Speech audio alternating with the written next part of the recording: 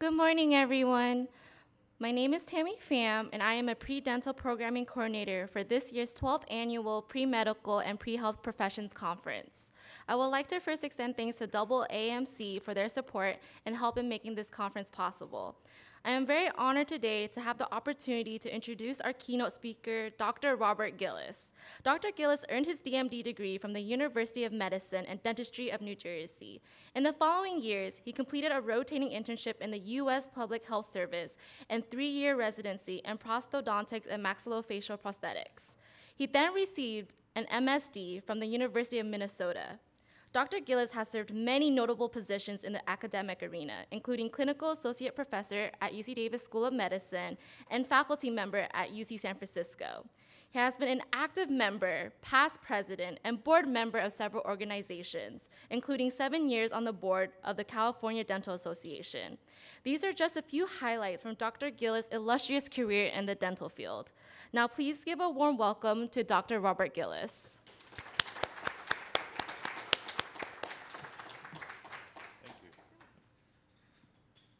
Thank you very much. So um, the question is, why do you want to be a dentist? That's, that's the question. And it's a question that um, I think it's useful to look at from the standpoint of why do people choose the path of dentistry?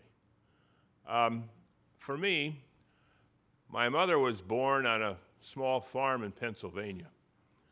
And um, it's almost dead center in Pennsylvania. My grandfather was a farmer, and in the winter he mined coal. Um, my mom often told me that they didn't know there was a depression because, from their standpoint, they had enough to eat and uh, they had enough to keep the house warm, and that's really all that much mattered. My dad was from New Hampshire. Um, this is um, a structure that no longer exists called the Old Man of the Mountain. It was a naturally occurring structure in uh, the mountains in New Hampshire. Um, my father um, put himself through school. He met my mother when he was an orderly at St. Vincent's Hospital in New York City. She was a dietitian. In those days, uh, if you were a woman and you had any inkling of wanting to go into mathematics or science, you were heartily discouraged. And so the only area that she could go in that was somewhat science related was dietetics. So they met. My father subsequently uh, went in the military. Um, after that, he went to dental school. He had a DDS, PhD in microbiology. He was chairman of uh, both the microbiology department in, in the medical school and the endodontic department at dental school. So the bar was pretty high in my family. Uh, my mom, my mom uh, retained her passion for math and science and was math science coordinator for an entire school system for the last 20 years of her life. So, but uh, when I was in college, I had no idea what I wanted to do. And I can tell if somebody came up and asked me, Are you going to be like dentist like your dad? I'd say, Absolutely no way. No way. I just I couldn't see that anything exciting about dentistry whatsoever. Um, about halfway through my sophomore year, I started to look at, you know, I had to figure out what I was going to do with my life. Uh, it was the 60s, so uh, if I didn't decide to do something, I knew where I was going to end up someplace in Southeast Asia. That, that didn't sound particularly exciting. Although I love my country, uh, going to Southeast Asia wasn't particularly exciting. And dentistry at the time um, was pretty much looked on as just something that people uh, pretty much filled teeth and pulled them. That was it, which is uh, the purpose of this slide, is to, because that was the state of the art. What happened to me was I sat down and looked at what my gifts and skills and talents were. I like science. I like people. I had a pretty strong artistic inkling. And at the time, I actually was thinking about majoring in psychology. What's interesting is that I have utilized all of those in my career in dentistry.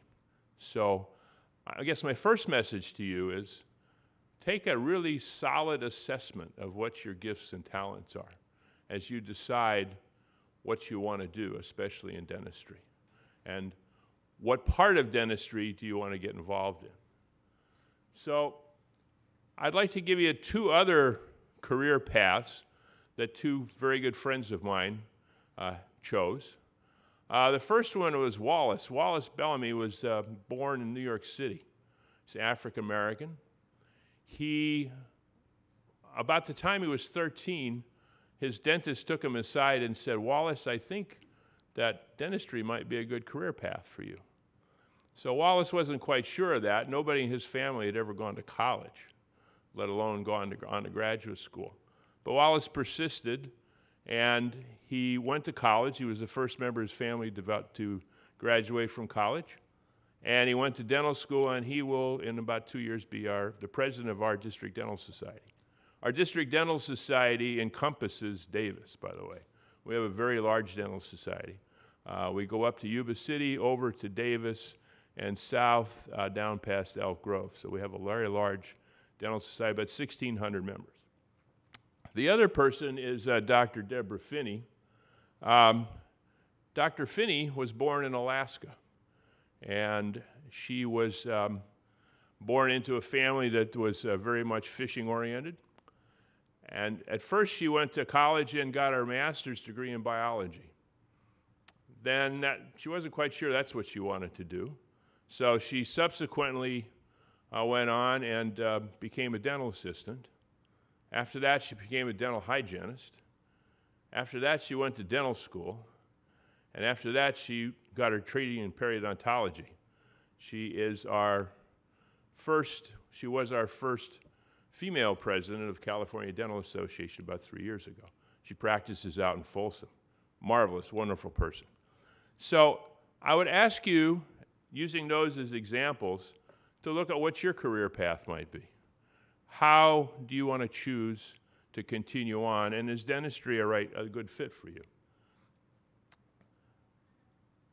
Some people um, comment about, you know, how can you uh, how can you work in people's mouths? The mouth is uh, actually the bacteriologically is the dirtiest place in the body. It's uh, dirtier than the other end demonstrated here. Uh, there are 750 different kinds of potential bacteria in your mouth, 250 in most people, and there are an enormous potential source of pathogens in the oral cavity. Uh, when people ask me, how can I work in the mouth, I say, well, it's more aesthetic than the other end. And that's, that's not a slam on proctologists. I just can't see myself looking at that end of the body all day long. So, what, what kinds of careers exist in dentistry?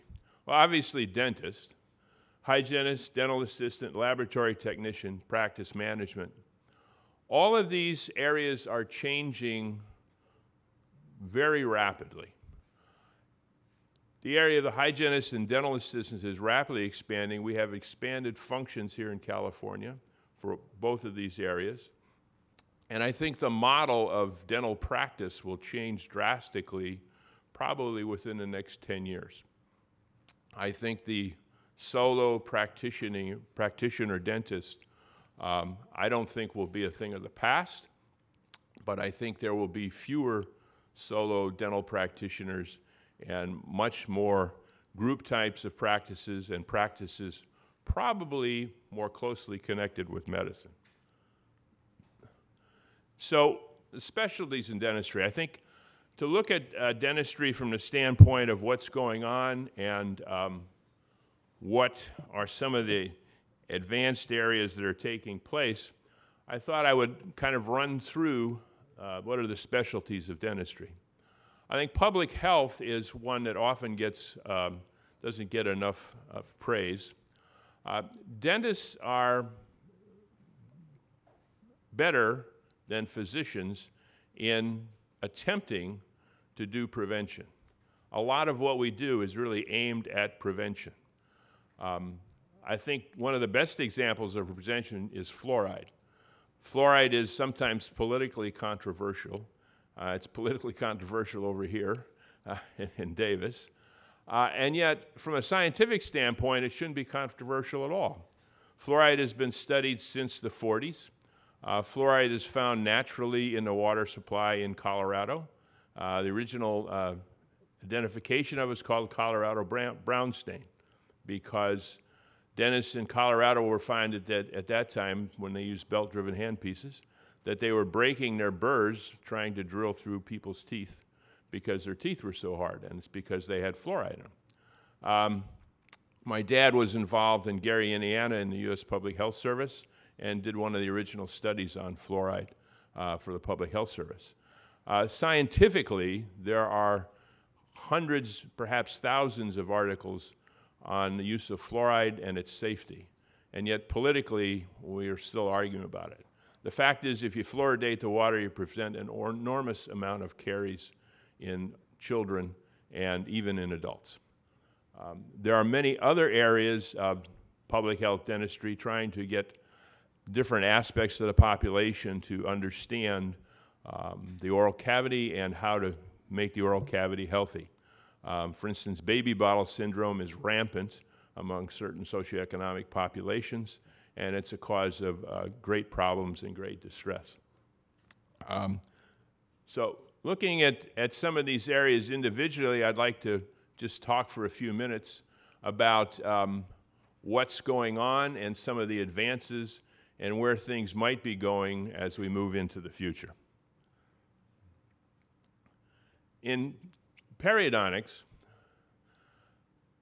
a Center for Disease Control has noted that over 50% of the population in the United States has periodontal disease. 50%. That's, that's pretty enormous. If we had any other disease process that inhabited 50% of our population, we would be doing something much more aggressive about it.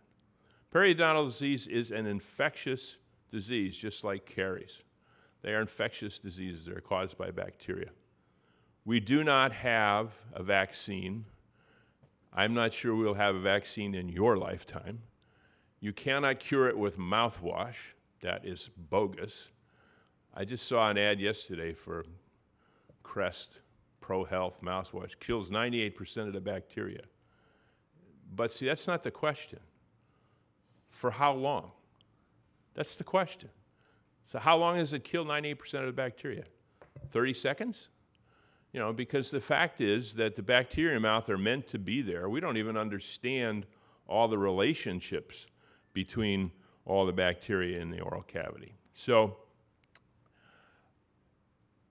the question is if we have this disease that infects this large percent of the population, what should we be doing about it? Um, the other thing, and I think more and more the connections with medicine are becoming evident, for reasons that uh, make no sense to me, we somewhat separated ourselves from medicine probably about 100 years ago. And we have operated sometimes as separatists. And yet, as far as systemic diseases, cardiovascular disease, diabetes, rheumatoid arthritis, perhaps some aspects of kidney disease, are all related strongly to periodontal disease. So, if we want to cure our population, and improve their health, then we should be much more aggressive about dealing with disease process in our patients. I think one of the more exciting areas is the fact that the oral cavity is really a gateway. One of the things that is exciting is from a research standpoint is spit. Spit's exciting. There are more different kinds of things in saliva enzymes that help us to digest our food, uh, antibodies that help to protect us from various kinds of of uh, disease process and bacteria, and yet we understand very little about this. There are a number of studies going on to use saliva as a marker for many different disease processes in the human body. And I do not think it's an overstretch to say that probably within the next 10 years, we will be using some of these markers, and that those of you that go into dentistry will be administering some of those in your offices which I think is, is very, very exciting. Caries is also rampant, especially in lower socioeconomic classes. Caries is a disease of civilization. It is a disease largely related to processed and refined sugar. If we look at our diets, we have a huge amount of processed and refined sugar. Now, the link also between saliva and caries is that despite having the same kind of a diet, some people, because of their saliva, have immunologic properties that prevent them from getting caries. So, although it's genetic, it's genetic via their saliva. So, this is another exciting area as far as where we might be going uh, in the future. Pediatric dentistry is going to be much more closely linked to medicine, especially since the Affordable Care Act. Uh, there is much more coverage available for children, and children really need to have much more uh, active and aggressive care. Children miss days of school. Children are ill with fevers. And worst case scenario, children even die from dental disease. I think in a civilization like ours, that's a travesty. That is totally unexcusable. There is absolutely no reason why kids should die from caries. Now, that's just, it's not really not, not acceptable. And we aren't doing enough to prevent that. More and more, there is a link between pediatric dentists and pediatricians. I think for a time, there was a belief that somehow dentists were different and the area of the body that we treated was different. When I was on the faculty at UC Davis, uh, I came over here and gave a lecture, a one hour lecture to the medical students on the oral cavity. One hour. Now, in one hour, what in the name of heaven can I say that would impact them? I would tell you that most physicians view the oral cavity as a dark abyss that exists between the lips and the pharynx, where there is nothing. And that somehow it behaves differently than the rest of the body. It doesn't behave like, you know. Let me give you a couple examples. Uh, I see cancer patients. I go, I go on rounds, not as much anymore, but I did when I was at UC Davis. And I would have oncologists who would tell their patients not to brush their teeth. Now, that's, that's totally illogical. they'd say, well, they're going to get a bacteremia if they brush their teeth. Well, yes, that's true. They will get a bacteremia if they brush their teeth. But if they allow the patient to develop more severe gingivitis, the type of bacteremia they, they're going to get is going to be more severe. So, and I would say to them, if you had an open wound on their arm, would you clean and dress the wound? Well, of course. I said, well, you have an open wound in their tissue, in their mouth, and it behaves exactly the same. So, all of the science and biology and biochemistry and everything else that you take in dental school has value. It has value because it helps you understand how the human body reacts, and that really, the oral cavity, dentists, really we should be much more closely related to our physician brothers and sisters, and we should be talking a lot more, and that all of our patients would do much better. Orthodontics is changing. Um, most people, if you say orthodontics, they think braces. And while that's true, there are lots of other ways that uh, teeth are moved. And our orthodontists really are growth and development specialists. And the importance of growth of the jaws and the airway is being looked at. And these are the folks that really have the knowledge base to take us further into how we can help children as they develop to prevent some of the problems that are related to their airway problems. This is a graphic that shows um, some of the imaging that's possible Yeah, we have lots of 3D imaging. We can literally reconstruct a jaw with printing and CAD CAM. Um, we can view and literally turn these images around and rotate them all different ways. This is fairly recent, but incredibly exciting. The part of dentistry that I inhabit, prosthodontics, um, part of what I do is take care of cancer patients. Sometimes uh, treatment of the cancer is surgical and it revolves, involves removal of a portion of the palate, which means that uh, you have a big hole between your mouth and your nose, which makes it hard to talk. And we make prosthetic devices for that. Another exciting area, uh, this is a, a, Swedish physician, P.I. Brånemark.